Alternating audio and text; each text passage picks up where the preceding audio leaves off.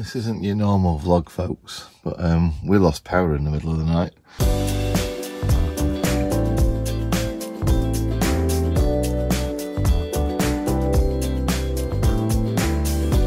So we woke up to that. We tried to switch over to the vehicle battery and you do get some lights that come on straight away but unfortunately that just dies within uh, about a minute. Um, I'm not too fussed about the vehicle battery being dead although it shows it's got at least 12 volts there so it should actually start the van. Um, but I've got that booster pack as well so I'm not too fussed about that. There you go it's just died now. I took a screenshot in the middle of the night of the um, battery monitor system um, and that just kind of said eight and a half volts but it said 47% left. So that's kind of got me thinking there's something wrong um, if it's got 47% left it's managed to calculate everything it's been charged and everything used. Uh, and it said only 100 amp hours have been used so there should be 100 amp hours left. 752 and um, yeah there's not enough solar.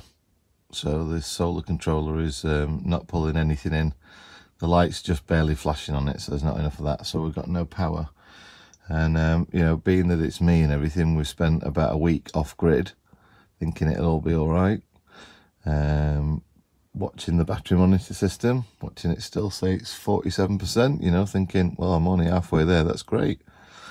You know a week of being off grid and a bit of sunshine every now and again it'll top it back up. But no. So I guess what I'm saying is you know I need to look into this but I should have been carrying a hookup cable with me. Because right now we are actually on a campsite that's got power. So they're all nice and tight. Um, it's going across. Everything's wired exactly as it should be. So uh, what I'm going to do now is just check the voltages across them uh, just to see what's going on. Okay, so this battery is giving me 11.97 11.97 so the batteries are identical.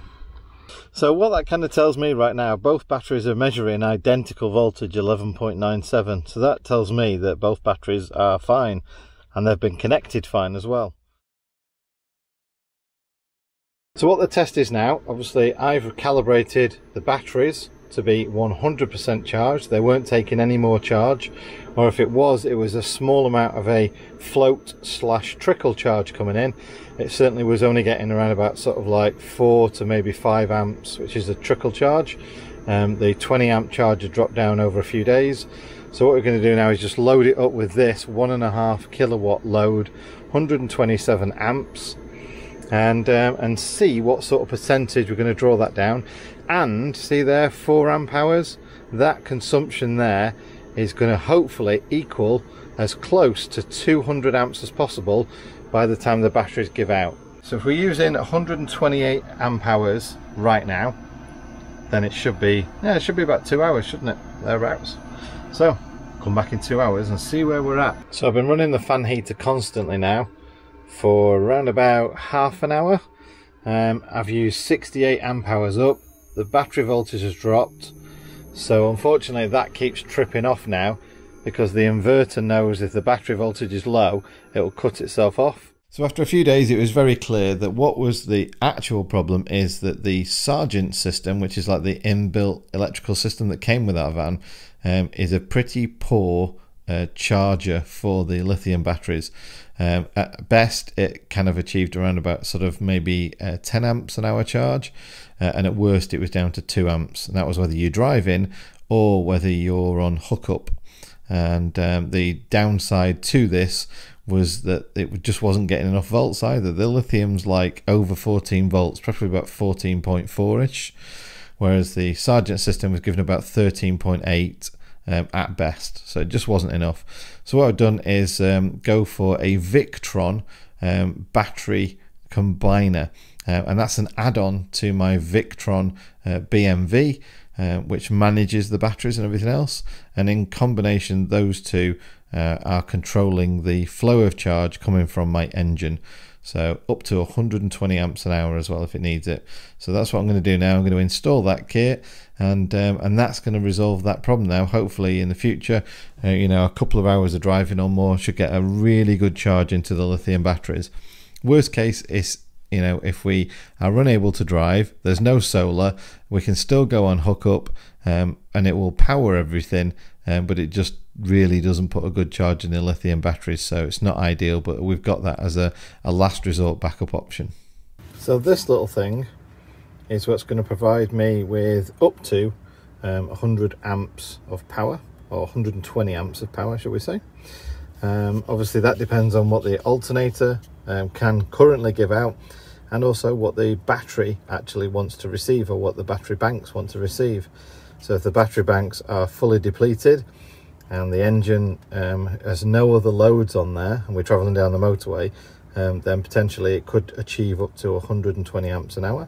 So the leisure side connects to there, so the my lithiums connect there, and then the vehicle battery connects there, and the vehicle battery obviously has the alternator connected to it. So these two connections on the back here actually connect to that on the back and that's so it can tell them when to switch the relay on as in to allow current from here from the vehicle to here which is the lithium to pass through um, or the relay may be told to um, shut off uh, because the batteries are fully charged um, or they're over temperature or something like that um, so that's essentially um, this system here working in conjunction with that. So the two work in conjunction with each other. So I'm going to complete the bit up front and fuse all that and then I'll work in the back and get all that fused. So what I've done at the moment is I've just finished off setting the cable up there. It's a 50mm cable. Uh, I've put a lug on the end of it, uh, which is uh, quite a hefty bit of a lug.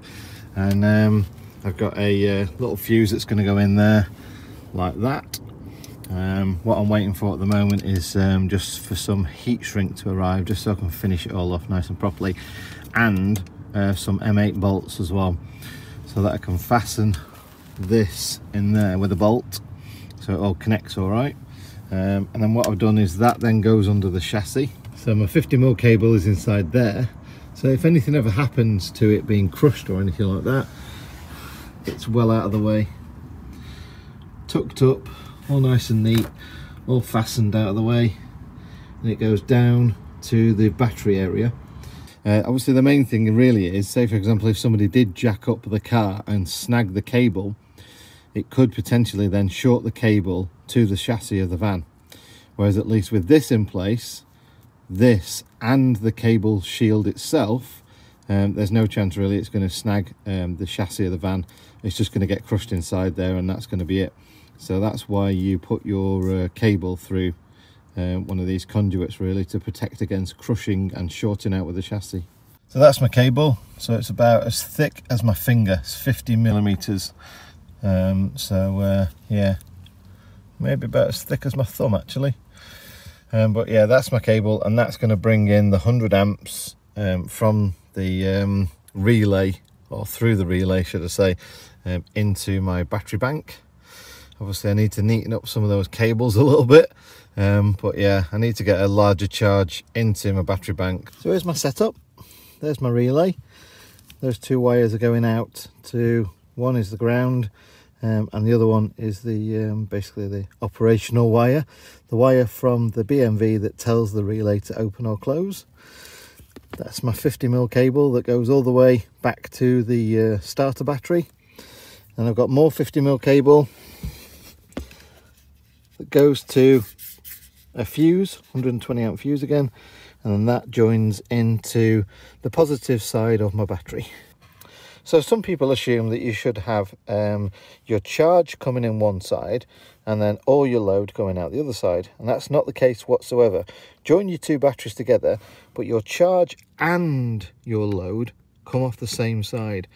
So I hope that makes sense to a lot of people. I've just seen a lot of people wire it the wrong way so I need to make sure that you all know which is the right way and it's not just like my right way it's it's the way electrons flow and the best way to make the use of electrons so um, yeah um, your 12 volt side charge and load coming into the same pole that's the right way to do it I've called Phil here today because uh, well, actually I didn't call you here. No, It I offered to it come. offered to come. I Yes, it's not like come. I've made him drive hours No. for for putting in two cables and going do do do do a little bit. Uh, but it was basically because I can do so many things I can do, and um, Phil's like Mr. Victron expert. So um, Cooper has joined us now because obviously Gadget Cooper, Gadget John, Geek Phil is on the panel. Um, we wanted to do a bit of testing. We've explained everything, what happens now, so you know about what it is we've installed. The main bit we want to do is does it work? How do we test it? So we've got a one and a half kilowatt fan heater, plugged it into the inverter, switched it on, and monitored it with the little battery monitor software which you get from Victron, just to see at a certain percentage that we'd set to say start charging me, which was ninety eight percent, um, and obviously at ninety nine percent, will you stop charging? And that's kind of what we did. So the way to actually charge something is engine. The way to discharge it is a one and a half kilowatt fan heater. So we did that. One and a half kilowatt fan heater came on. Saw that it was drawing 120 odd amps, and um, basically waited for that to drop enough that the relay had actually clicked in and engaged. Went and started the van. The original kind of like concept of what we were doing then became a bit funny and geeky Mm-hmm. because actually then the alternator took over from the entire drain of the fan heater. So the alternator was providing essentially 120 amps, which meant the battery wasn't providing anything, and it showed zero on the stats, even though there was a one and a half kilowatt fan heater coming out, which was interesting. But at least it proves that the alternator can provide 120 odd amps ish, whatever, um, and that was all right. Everything worked okay. It meant we tested the circuit to Yeah. its theoretical uh, maximum level. Yeah. It worked perfectly. Yeah, and before anyone says anything about stuff like that, um, obviously there are tolerances of charge rate for batteries. The lithiums are 50%, but actually up to 100%. So I've got two 100 amp hour batteries, so that's 200 amps. So essentially, even on the safe side, I could put 100 amps through them, and that isn't an issue. But apparently, they can take up to 200. Yeah. Yeah. so that's all right. If you've got a lead acid battery, AGM, that kind of thing, yours is like, was it 20%. twenty percent? So just be cautious. That's probably why in our van it came with a twenty amp charger. Yeah. The Sargent stuff because that's their safe side of charge rate, whereas I want to be able to charge my lithium batteries faster. Yeah. Essentially. Generally, lead acid batteries you charge at 10 to 20% of their capacity, uh, unless you're being really careful and have temperature probes and things like that on them. But with lithium ion batteries, it's normally 50% of the capacity, so a 100 ampere battery can be charged at 50 amps, or in John's case, with his 200 amp hours, 100 amps, and even up to 200 amps if required. What would you say the cost was of installing it in total? Somebody asked me that on Did? Instagram because I put a picture on Instagram. So I paid seventy two pound for the um, the actual um, just call it a battery combiner. Yep. Um, I paid thirty pound for the fifty mil cable, and then I put some ends on. Um, think everything else I had. If you included things like you know the fact that um, I had to put some heat shrink on, and the fuses either end and a fuse holder. Let's say in total I've spent one hundred and ten pounds. I didn't install this. John installed it himself. Now we we have paired it with the because you can use this relay with normal lead acid batteries as well. You can buy the lead acid version of it. Um, the we've paired it with the Victron BMV so that we can shut off the charge when the lithiums are full. You don't need to do that with lead acid because they're quite happy to sit there on absorption and it's no problem. Um, now you installed it all by yourself. Yeah. Um, what do you think the complexity was of the installation? Uh, the complexity, strangely enough, was the tiny, tiny wires Yeah. between the BMV Sure. and the relay to say, listen, there's a common circuit, which is your ground or whatever, Sure. and then there's an enable circuit. Yeah. The enable circuit had to go through its own little fuse just to protect itself. Um, and then we needed to connect one between um, closed and open Sure. so that we knew which way the relay was switching. And then probably what you did on the um, the app to basically set those um, 98% and 99% enable and disable of the relay. So the actual physical installation It's not a difficult job. An hour. I would I would think that most people who work on their vans would easily do that in. I mean, the the finickiest bit yeah, was um, routing the cable from the battery box sure. underneath the van through the um, conduit. Yeah. The uh, the conduit's used. I uh, probably explained it in another part of this video, but the conduit's used as a protection against the cable being crushed against the chassis and shorting out. That's essentially what you're doing. So feeding the cable through the conduit and then the conduit under the side of the van. That which probably took about I don't know 25 minutes to do it, and then another 10 minutes to neaten it all up and get it all out of the way, sort of thing. So Okay. finicky rather than fiddly or anything like that. Yeah. So I'm going to give a brief technical explanation of basically what we did. Right. Okay. So what we've done is we've installed a battery combiner relay that connects the starter battery to the rear battery bank through a nice thick positive cable that is able to carry the load but with a very low voltage drop across the circuit. That relay has two more wires, one which is a ground wire that just goes to chassis or to the negative on the battery, and then it has an enable wire. When the enable wire is positive, that relay's operational. It doesn't mean it kicks in. It still doesn't kick in until it senses the right voltages on either side. But when it's disconnected, that relay's turned off and it won't operate. So that what that pin is also used if you click it three times to do the start assist, which connects all the batteries together, just in case you've got a flat starter battery, you've left the lights on or something.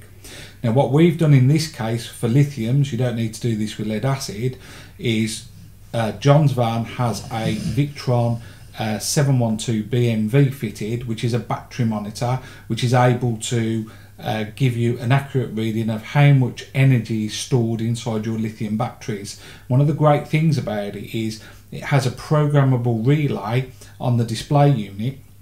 So what we've done is we've programmed that relay to be able to change on different states of charge of the batteries. So John has put a cable in from the new relay, the combiner relay, up to that uh, battery monitor so that we can turn it on and off, enable it and disable it depending on the state of charge of the lithium batteries. So that's an extra wire, which is the bit that John was saying was complicated to, to install, but that's not normal. That's only something that you would do with lithium batteries. You don't need to do that if you've got lead acids.